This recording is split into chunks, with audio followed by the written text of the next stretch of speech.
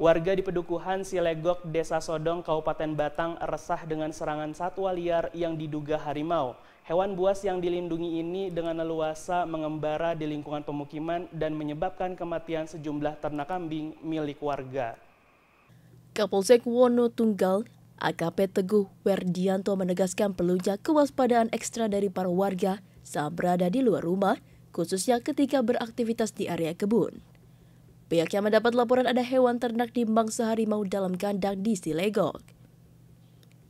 Ternak kambing yang menjadi korban merupakan milik Abdul Majid yang kandangnya berlokasi di daerah antara desa Sodong dan Purbo dengan nama daerahnya yakni Si Angin-Angin. Sembilan ekor kambing ditemukan berserakan dan tak bernyawa.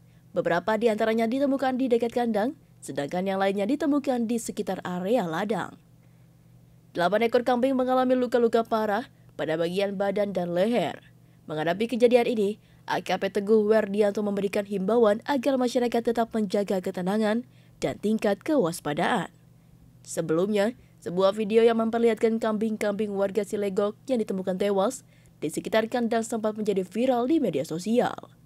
Informasi mengenai kejadian tragis ini menyebar dengan cepat melalui sosial media. Dalam video tersebut, tampak delapan ekor kambing berwarna putih tergeletak tak bernyawa dengan tubuh yang penuh luka.